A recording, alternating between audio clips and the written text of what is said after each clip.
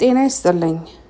ለዛሬ ደግሞ የሴቶች መደፈር ታሪክ በትግራይ በሚል አርዕስት ጋዜጠኛ ገብረ መስቀል ለድምፀ ሀፋሽ ኤርትራ በትግርኛ ያቀረበውን በአማርኛ ተርጉሜ አቅርቤዋለሁ። ተከታተሉን። ሌላውና አጸያፊው የወያኔ ተግባር ወያኔ የሰሜን እዝን አጥቅቶ ኢትዮጵያን ደምስሶ አዲስ አበባን ተቆጣጥሮ ኤርትራም ላይ ተሻግሮ የአፍሪካ ጎምላን ለመባል የተጓዘበት ሚስጥር ያችን መስታወት ፊት ቆማ ከምስሏ ውጭ አንበሳን ያገች ድመትን ያስታውሰናል። ወያኔም እንደ አንበሳ ጮሆ ሳይንደረደር የተንቤን ዋሻ ላይ እንደሰፈረ የመረጠውና የፈለገው መንገድ ኤርትራን መወንጀል ነበር።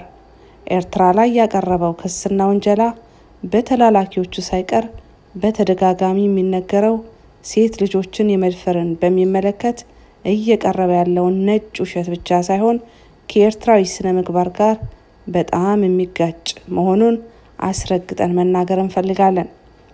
እስኪ ወያኔ ስልጣን ላይ በነበረበት ጊዜ የተደረገውን የጥናት ጽሑፍ እናቅርብ።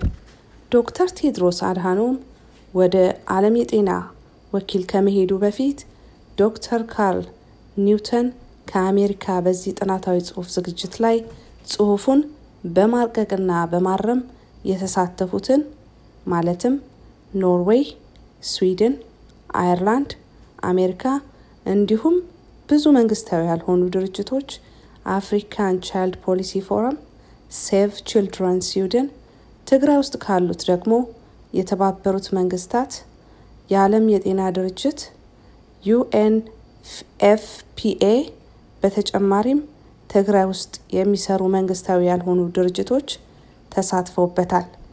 ከዩኒቨርሲቲ ትግራይ ውስጥ ደግሞ ሳራ ባህታ፣ ሀብቱ በርሀ ገብሩ፣ ዮሐንስ ተስፋዬ አበበ፣ ካህሱ ገብረ ክርስቶስ ገብረ ኪዳን፣ አጸደ ፋንታሁን አረጋኸኝ፣ ኪዳኔ ገብረ ሚካኤል ኃይሉ፣ ገብረ እግዚአብሔር ብሩህ አበራ እንዲሁም አለም ግርማይ ተክለወይኒ፣ ደጀኔ ባህራይ በሪሁ፣ ኃይሉ ገብረ መድህን፣ ቢንያም ደምሴ፣ ግርማይ ተክላይ ያዘጋጁት የጥናት ጽሑፍ ነው።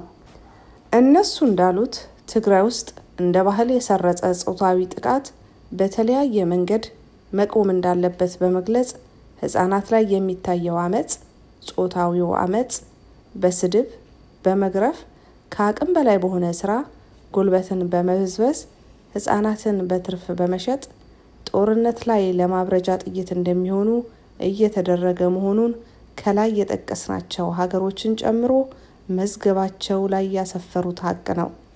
የተከበራችሁ አድማጮቻችን፣ ወያኔ ሴትን አስገድዶ በመድፈር መክሰሱ የተደሰቱ ተላላኪዎቹ ድርጊቱ ሲፈጸም ቦታው ላይ የተገኙ እስኪመስልን ድረስ ምንስ ያላሉ ምንስ ያልተናገሩ በበኩላችን አሁንም የኤርትራ ሰራዊት የታነጸበትና የተገነባበት ስነ ልቦና አያውቁም እንዳንል ወያኔ የህዝባዊ ግንባርን ታሪክ፣ የህዝባዊ ግንባርን አካሄድ፣ ብላትና አመራረጥ የህዝባዊ ግንባርን አሳምረው ስለሚያውቁ የሚያውቁትን ደግመን መናገር እንዳይሆንብን ማለፉ ይሻላል።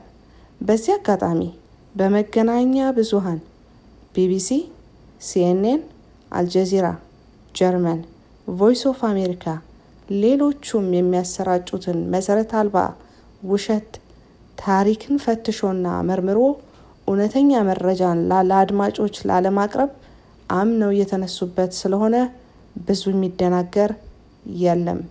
ኤርትራን በማሰይጠን ውሸትን በመደጋገም እውነት ያስመስልልናል የሚል የወረደ ዘዴ ነው። ቢሆንም አሁንም ቢሆን ምክራችን መንገዳችሁንና የያዛችሁትን ፊት ለፊት ወዳለችው መስታወት ቁሙ የሚል ነው። በበኩላችን ለክቡራን አድማጮቻችን የሴት ልጆች መደፈር ታሪክ በትግራይ በሚል አርዕስት በተለያየ ጊዜ በተደረገው ጥናት እንደሚከተለው ነው። አንደኛ፣ ትግራይ ውስጥ የወሲብ ጥቃት ያልተፈጸመበት ድርጅት የለም ማለት ይቻላል።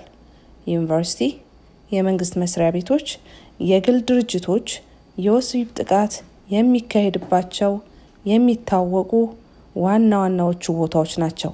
በ2014 መቀለ ከተማ ውስጥ የነበሩ ሴተኛ አዳሪዎች ያካሄዱት ሰላማዊ ሰልፍ የዚህ ጥናት ጽሑፍ አካል ነው።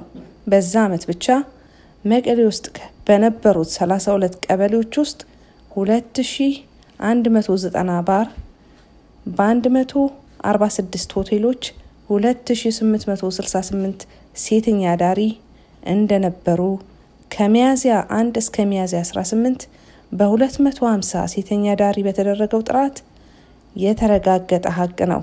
በጥናቱም ላይ የተሳተፉት መቶ በመቶ ሀቀኛ መልስ ነው የመለሱት። ያ ማለት ደግሞ ከሴተኛ አዳሪዎች ውስጥ 119ኙ የእድሜ ክልላቸው ከ20 እስከ 24 የነበሩ ወጣቶች ሲሆኑ ሁሉም በደረሰባቸው መደፈር ወይ ደግሞ የወሲብ ጥቃት ህይወታቸውን ወደ ሴተኛ አዳሪነት የቀየሩ ናቸው። ሁለተኛ በ2007 በ1024 የመቀሌ ዩኒቨርሲቲ ተማሪዎች በተሳተፉበት የመደፈር ጥናታዊ ጽሑፍ ላይ ከእነዚህ ውስጥ 62 ከመቶዎቹ ተመሳሳይ የጾታ አመፅ በእኩዮቻቸው እንደተፈጸመባቸው ይገልጻሉ። ትግራይ ውስጥ በቤተሰብ መሀል የሚያጋጥም ፍቺ ይሁን ሌላ የቤተሰብ ግጭት መሰረቱ ይኸው የጾታ አመፅ ወይ ደግሞ መደፈር መሆኑን ተማሪዎቹ ከቤተሰቦቻቸው ልምድ የሚገልጹት ነው። ገጠራማው የትግራይ ክፍል ለትምህርት ወደ ከተማ የሚመላለሱ ሴት ልጆች መንገድ ላይ ትምህርት ቤት አስጠግተው ካስቀመጧቸው ቤተሰብ ሳይቀር የመደፈር ግፍ እንደሚደርስባቸው ይናገራሉ። ተደፈርኩ ብሎ ማውራት ስላልተለመደ እንደ ነውርም ስለሚቆጠር ትምህርታቸውን ትተው ሴተኛ አዳሪ ነው የሚሆኑት። ሀገራቸውን ጥለው የሚሰደዱት የከፋ ኑሮ የሚኖሩ ጓደኞችም እንዳላቸው ይገልጻሉ።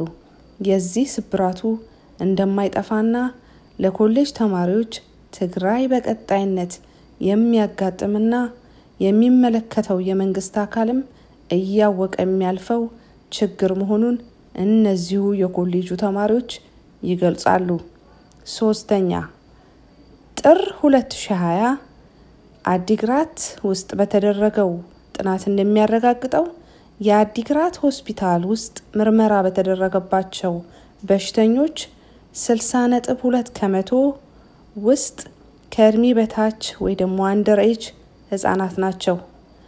አስነዋሪ ወሲብ ጥቃት በወላጆቻቸው፣ በቅርብ ቤተሰቦቻቸው፣ በጎረቤቶቻቸው እንደደረሰባቸው ይገልጻል። በተመሳሳይ መቀሌ ዩኒቨርሲቲ ላይ በተካሄደው ጥናት እንደሚያረጋግጠው ጥናት በተደረገባቸው ከ356 በላይ አስተዳደር ላይ ከሚሰሩት ሰራተኞች 174 በ22 እስከ 35 እድሜ የሚገኙ ሲሆኑ 171ዎቹ ያገቡ ከነሱ 180 ማለትም 50.2 በመቶ ያሉት ላያቸው ላይ የወሲብ ጥቃት እንደደረሰባቸው ይገልጻሉ።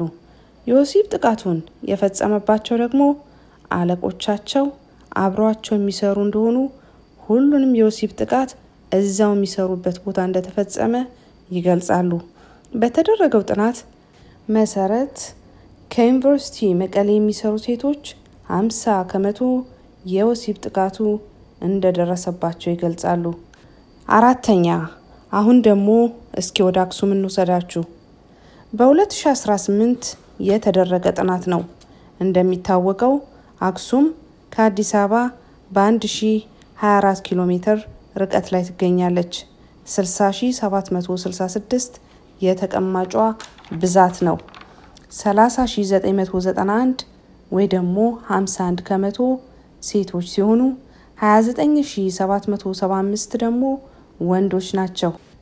በ378 ሴቶች ላይ በተደረገው ጥናት እንደሚያመለክተው ከተሳታፊዎች 175 ከ31 ዓመት ዕድሜ በታች ሆነው 286ቶቹ ደግሞ ከ16 እስከ 20 ዕድሜ ክልል የሚገኙ ወጣቶች ናቸው። 56 ነጥብ 8 በመቶ የኦርቶዶክስ እምነት ተከታዮች ሲሆኑ 112ቱ ያገቡ ናቸው። አክሱም ውስጥ የበዛው የወሲብ ጥቃት መነሻው በፍቺ እንደሚጠናቀቅ ያመለክታል።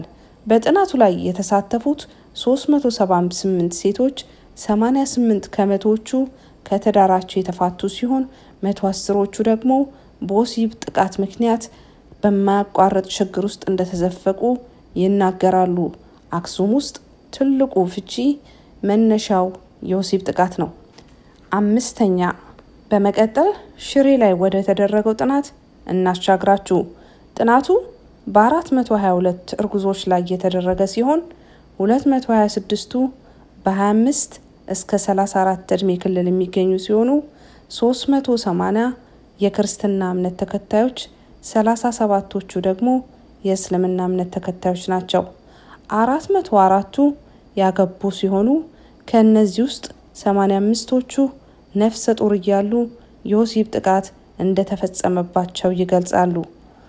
በአየርላንድ መንግስት በተዘረጋው መረጃ መሰረት preventing and responding to violence against women and girls in Tigray በሚል አርዕስት የትግራይ ሴት ነዋሪዎች ባለው የክልላቸው መንግስት ላይ ያላቸውን ተቃውሞ ለማሳየት ካስገደዳቸው አንደኛው የ13 ዓመት ልጃገረድ ህፃን ልጅ ላይ ባጋጠማት የወሲብ ጥቃትና የሁለት እግሮቿ መቆረጥ ባስከተለው ውጥረት እንደሆነ የገለጹበት አንቀጽ ብዙዎችን በጣም ያሳዘነ እንደነበር የሚታወቅ ነው። ስድስተኛ አድዋ ላይ ስንሄድ በ2016 በ646 ተማሪዎች ላይ በተካሄደው የወሲብ ጥቃት ጥናት ትግራይ ላይ ባለው ጠቅላላ አደገኛ ሁኔታ በቶሎ ፈውስ የሚያስፈልግ መሆኑን ከ646 ተማሪዎች ከ49 ከመቶ በተደጋጋሚ የጾታ ጥቃት እንዳጋጠማቸው ይገልጻሉ። አንዳንዶቹ እስከ ስድስት ጊዜ ወሲብ ጥቃቱ እንደተፈጸመባቸው ሲገልጹ ከ643ቱ 27.7 በመቶዎቹ አሁን በሚማሩበት ዩኒቨርሲቲ፣ 46.2 ደግሞ የሁለተኛ ደረጃ ትምህርት ቤት ውስጥ፣ 23 ከመቶዎቹ ደግሞ ኮሌጅ ውስጥ የመምህራን ማሰልጠኛ ማዕከል ውስጥ ያጋጠማቸው ሲሆን 66.7 ተማሪዎች ደግሞ ዩኒቨርሲቲ አስተማሪዎቻቸው ተጨማሪ ነጥብ ለማግኘት ሲሉ እንዳጋጠማቸው ይገልጻሉ። የተከበራችሁ አድማጮቻችን ይህን እንደ መነሻ ያቀረብነው እንጂ ሌላ ያልተዘረጋ መረጃም እንዳለ ማስመር እንፈልጋለን። ወያኔና ተላላኪዎቹ ጣቶቻቸውን ሌሎች ላይ ከመቀሰር የወያኔን ታሪካዊና ባህላዊ አስተዳደግ መመርመርና መፈተሽ በተገባቸው እነዛ ለትግራይ ሕዝብ ተቆርቋሪ ነን ባይ ሀገሮች እጃቸው ላይ ያለውን ሰነድ ፈትሸው ቢያወሩ ምንኛ ባማረ። በሰላሙ በደህናው ጊዜ እንደዚህ አይነት አስነዋሪ ተግባራቱ የሚታወቀው ወያኔ በጦርነት ጊዜ ልቅ ከሆነ ባህሪያቱ ምንድን የጠበቁት? በአሁኑ ሰዓት ወያኔን በአማራና በአፋር ክልል ላይ እየተከሰሰበት ያለው የወሲብ ጥቃት መነሻው ስሩ ምንድን ነው? መልሱን ከመዝገባቸው ውስጥ አገላብጠው ይፈትሹ። እናንት ወያኔን እንደ መስታወታችሁ የምታዩና የምትንቀሳቀሱ የዓለም ላይ ድርጅቶች መስታወታችሁን ወልውሉ። ወልውላችሁ መስታወታችሁን ራሳችሁን እንድታዩ እናሳስባለን።